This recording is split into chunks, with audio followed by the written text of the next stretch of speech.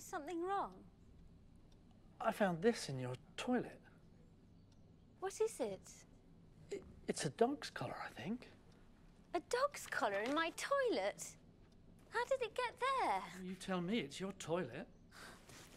Is this some kind of joke? I, I'm just saying, something strange is going on here. If you want to call the whole thing off, just say so. No, that's not it. There was some blood there, too.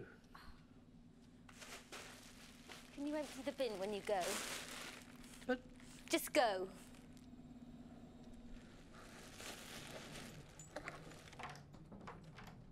Dad, what is this? With all your money, you're giving me a Bible. Son, listen. Read it. Uh, read what? Look, this is why Mum divorced you. You don't keep your word. Listen. Why have you done this? You spend all your money on these charities and, and then nothing on your family. That is irrelevant. Oh, please, Dad. I'm sick of this. I'll be better off on my own. Just look inside. Andrew. I don't want to talk to you anymore. Andrew? Look. It, it can't be right. It's leaning. It's probably normal. Is that it? Seriously? Look. You can't call that normal. It's leaning. A little. Look, Joel, I don't have time for this. Look, I- I'm just trying to tell you there's something up with the building. Uh, and maybe that's what happened to the dog.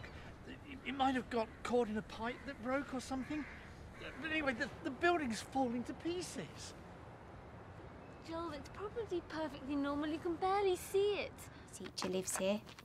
She's got a lot of attitude, that woman.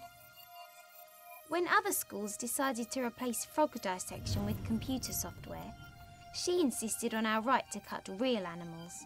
They say it has many benefits, like uh, th- think about hygiene and. We, proud teachers of Nowhere High, will not be told how to educate our children at Nowhere High. This is how we do it. What? Sorry. I'm really sorry about this morning. Get your foot out the door. I, I can explain, all right? I need to show you something. You need to come with me. Just tell me, Joel. No. You have to come.